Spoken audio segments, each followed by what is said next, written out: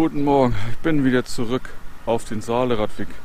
Ja, es war eine schöne Nacht dort, ziemlich ruhig, alles gut. Eigentlich hatte ich auch ungefähr hier einen Ruhetag eingeplant nach der großen Anstrengung. Aber das Wetter ist heute sehr, sehr schön, sehr toll. Der Hochnebel löst sich gerade auf, es ist jetzt schon recht warm. Ja, und die nächsten Tage ist große Gewittergefahr. Da will ich vielleicht dann vielleicht mal einen Tag abwarten können. Also will ich mir diese Luft von einem Tag noch behalten. Okay, aber heute bin ich schon 10 Kilometer gefahren bis hier bis Rudolstadt. Das ist schon gleich wieder viel lauter hier. Und so 100 Kilometer sind dann gleich wieder das Ziel. Das wäre Naumburg. Das wird heute das schöne mittlere Saaletal gehen mit viele Burgen und Schlösser anscheinend. Soll sehr, sehr schön sein. Also ich möchte es heute genießen wieder und ich hoffe, es wird schöne Bilder geben. Also wünsche ich viel Spaß dabei.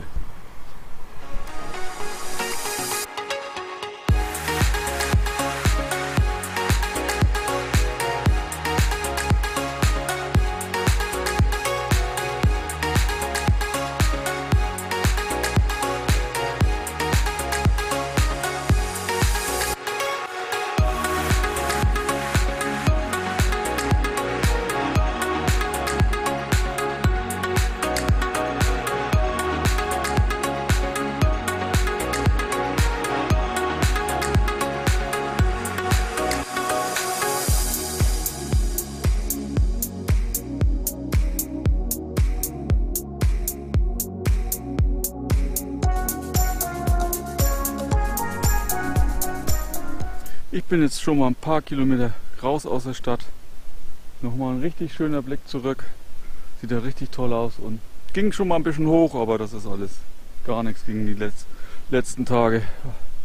Ja, ich, das mit den Campen, dass das nichts geworden ist gestern, tut mir ist ein bisschen schade drum. Aber ich habe aus Fehlern gelernt. Ich habe schon mal voraus telefoniert. In Sachsen-Anhalt, das ist ja das nächste Bundesland, wo ich dann demnächst reinfahre, ist Zelten auch erlaubt und ein Campingplatz habe ich angerufen. Ist auf, alles okay. Ich glaube, heute Abend könnte es was werden. Ich freue mich drauf.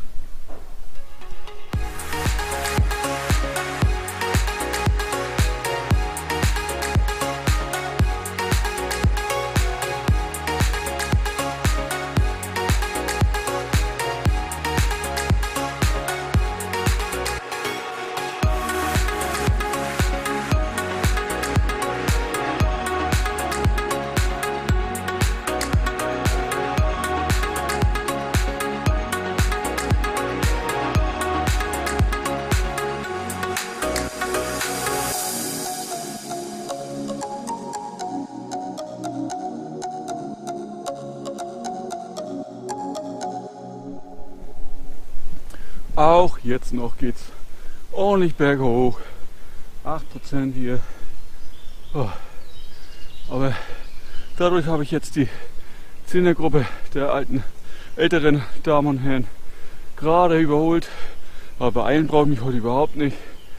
Denn ich habe bis Naumburg so viel Zeit heute. Oh. Und das bei dem tollen Wetter. Ja, das wird doch schön. Ah, was ein schöner Tag. Endlich!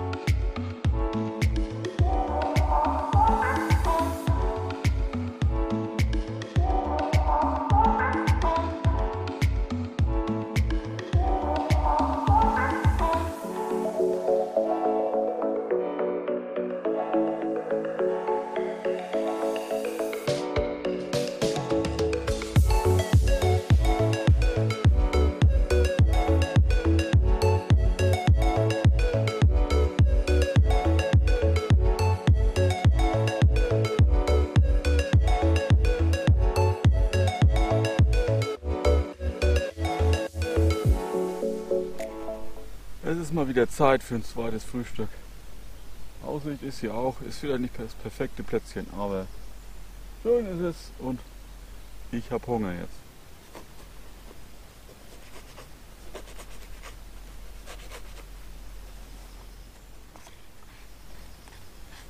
Mm. Lecker Marmelade. Mm.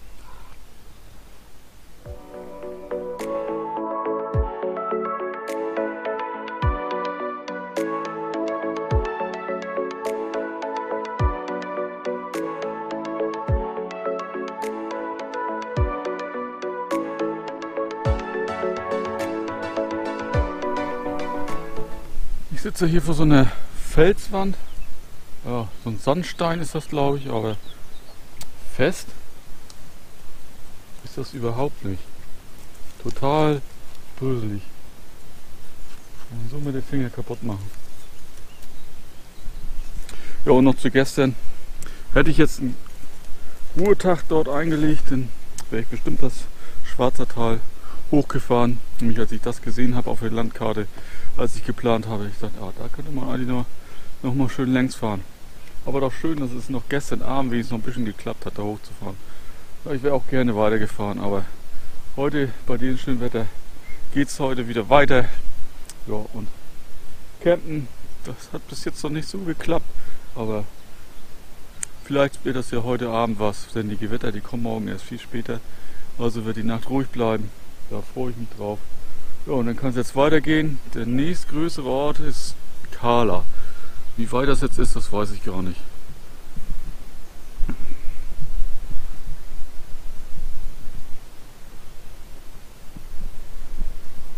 Ach ja, und gestern Abend konnte ich zum Glück noch das Fahrrad ein bisschen putzen, abwaschen. Das sah aus Hölle. Aber jetzt ist nur noch ein paar Spritzer dran vor den neuen Pfützen heute Morgen. Aber es geht in, inzwischen mal wieder.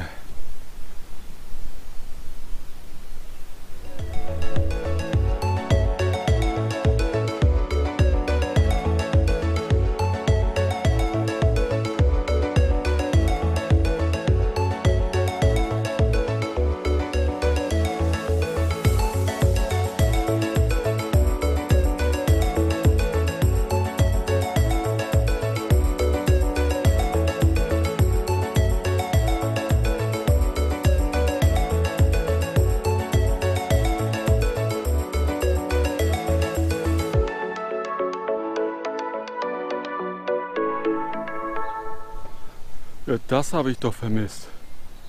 Endlich wieder eine ordentliche Steigung.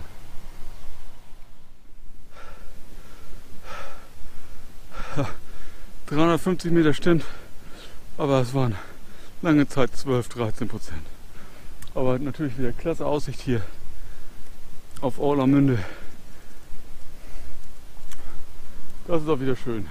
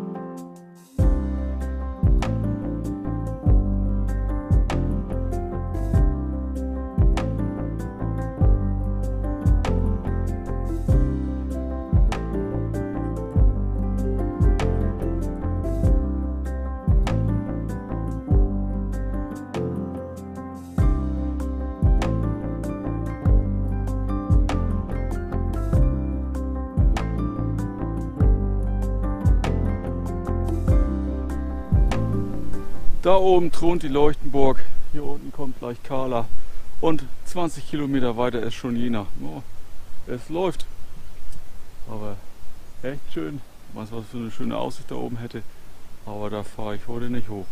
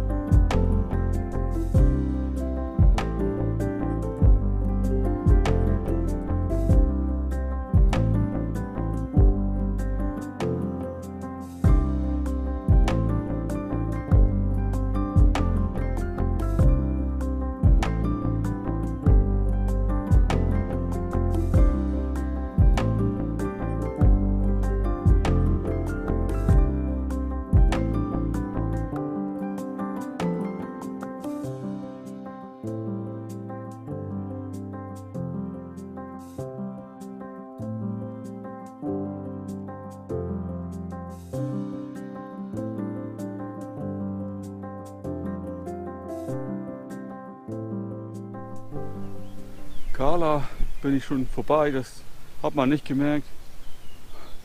War gerade so ein schöner Weg, aber leider nass ist die Strecke noch und matschig. Oh, es geht noch, aber schön ist es nicht.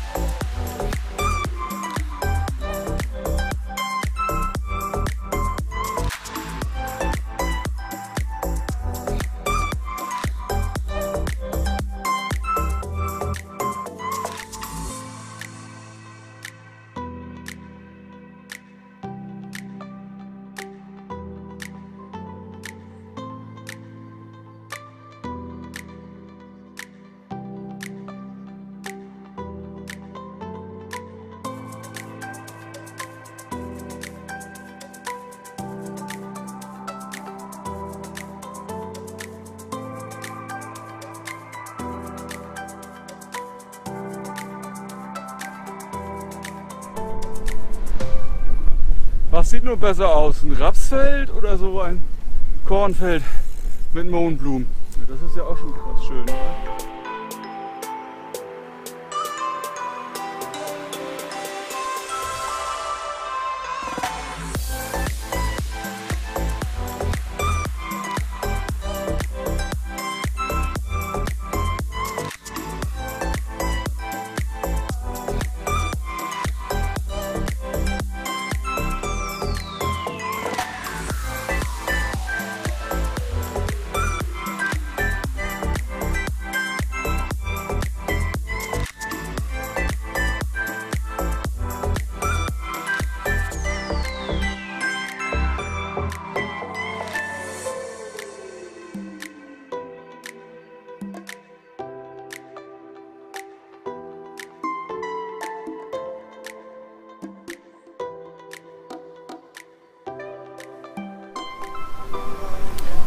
Kilometer bis ins Zentrum habe ich jetzt hinter mir. Ziemlich grün, alles gut. Und was ist? Ich warte hier auf Mittag. Das muss ich hier wohl nutzen, wenn ich durch die Stadt komme.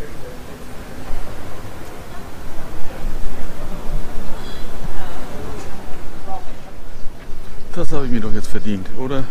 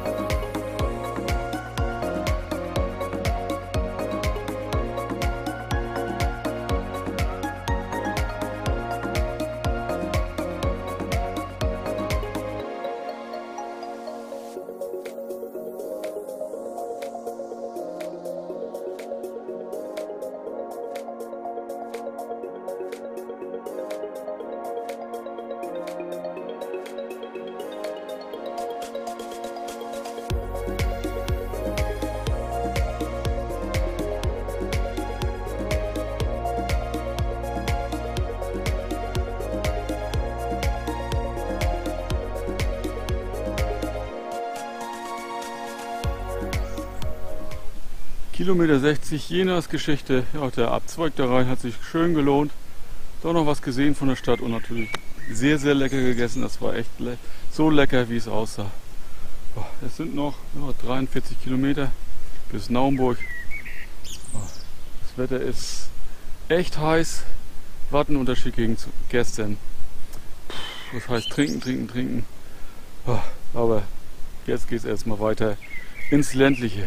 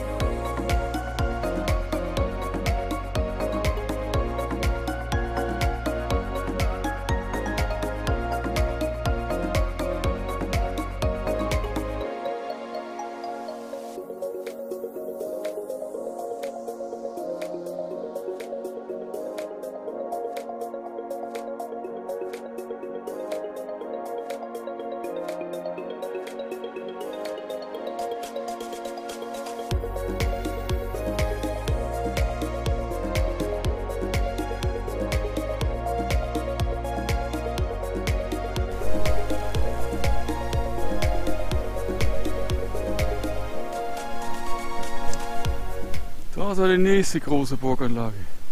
Das ist Dornburg. Ja, der Name sagt doch einigen was. Grüße gehen raus. Ist auch sehr heiß heute. Alter Schwede. Was ein Unterschied gegen gestern, vorgestern und eigentlich die ganzen anderen Tage. War teilweise ist Gegenwind und der tut diesmal echt richtig gut. Aber es geht weiter.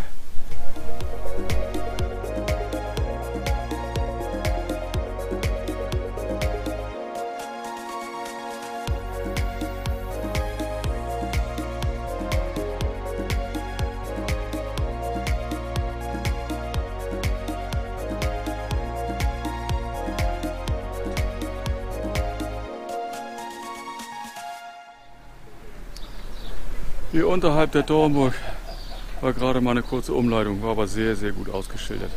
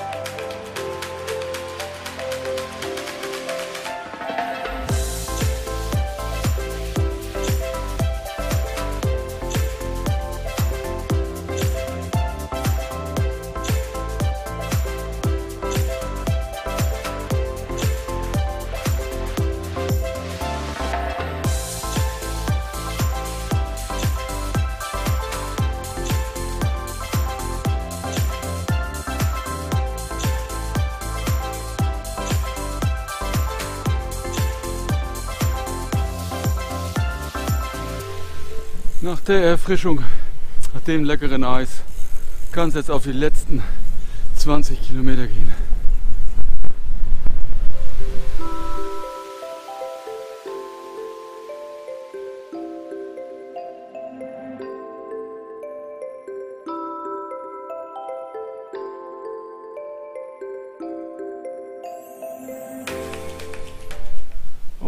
Erste Stück von den Weinbergen der Unstrut-Saale-Region.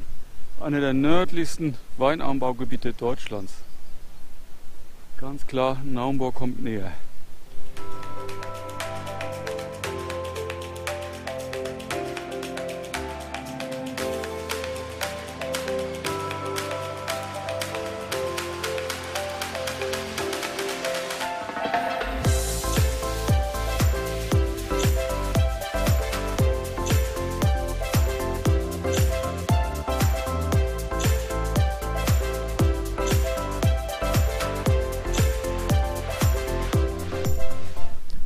Komme ich erst nach Sachsen-Anhalt. So kann man sich ehren. Ich dachte, ich wäre schon längst da.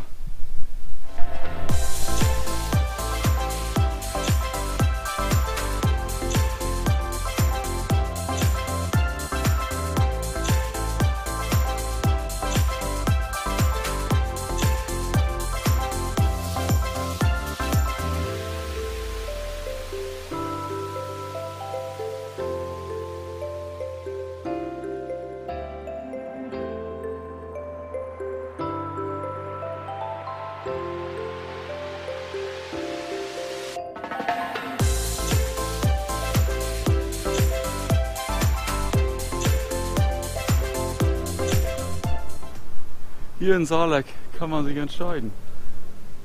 Steigung oder Landstraße mit Autos. Ich bevorzuge gerade mal die Landstraße mit Autos. Ah, ich glaube, das ist angenehmer gerade heute.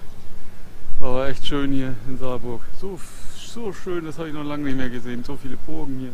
Heißt auch nicht umsonst Burgenlandkreis hier.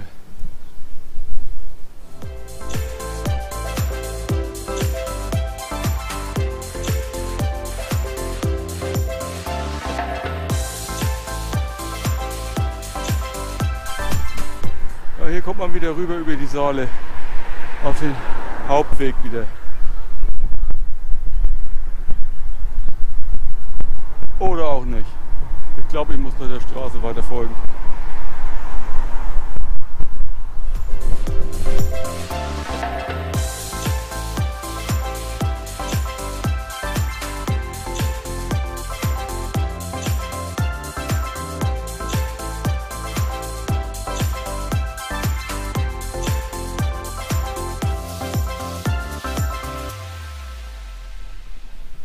Befinde ich mich gerade am Kloster Pforta, außerhalb von Bad Kösern.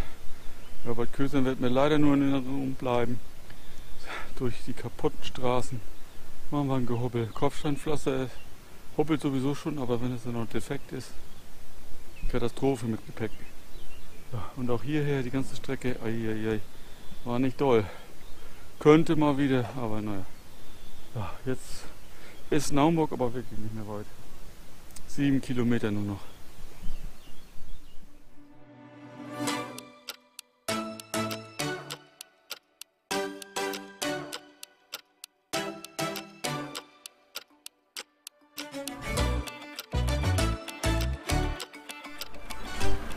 Ein wenig Verkehrschaos hier auf so einer kleinen Straße.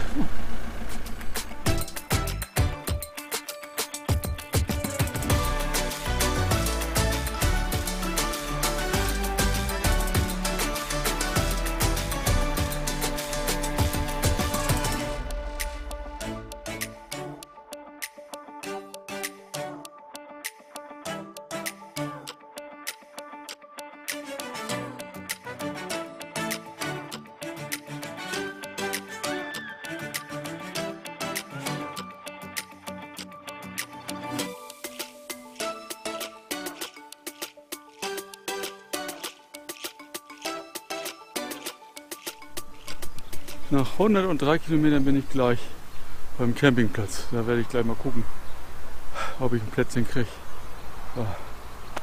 Das ist Naumburg da oben. Ganz schön weit weg. Da sind nur zwei Kilometer. Aber erst mal gucken, ob ich hier ein Plätzchen kriege.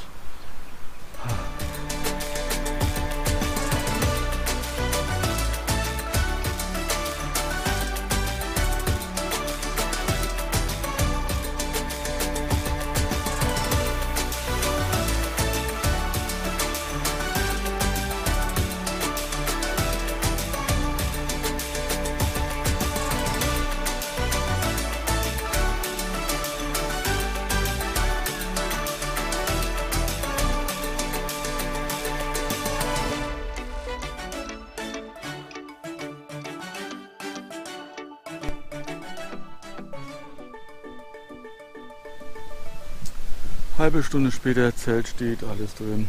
Oh, Luftmatratze aufgepustet, alles parat hier. Oh, 103 Kilometer waren es heute. Durch richtig Hitze, 28 Grad. Starken Wind, ja, auch als Gegenwind, aber irgendwie war der mehr erholsam als schwierig. Ja, hier bin ich jetzt im Neu Naumburg Blütengrund auf dem Campingplatz. Richtig schön hier, kleiner See hier, könnte auch baden. Aber ich will jetzt erstmal duschen, bisschen frisch machen und ob ich noch irgendwas mache heute Abend, glaube ich nicht. Also ich bin ganz schön fertig von dieser Hitze und nicht vom Weg. Naja, erstmal frisch machen. So, jetzt gibt es noch ein bisschen Abendessen. Das fertig ist natürlich. Mal schön Reis, so ein Reisgericht. Und Wiener Würstchen. Ganz schnell. Und noch ein Gösser, alkoholfrei. Habe ich auch gefunden. Ja, so geht der schöne Tag zu Ende. Was für ein Tag. Ja, so hätte es immer sein können. Ja, okay. Wetter kann man sich nicht aussuchen. Das war ja kein schlechter Tag, eine tolle Tour. Schönes Ende. Ich hoffe, es startet morgen genauso. Ich werde jetzt noch was essen. Vielleicht gehe ich noch mal an die Saale oder so, aber nach Naumburg fahre ich nicht mehr rein. Ich war schon mal in Naumburg, ich kenne das. Also dann tut mir leid, wenn ihr das vielleicht sehen wolltet, aber ich mache das heute nicht. Ich bin dann doch platt. Also danke fürs Anschauen. Bis zum nächsten Mal. Moin moin.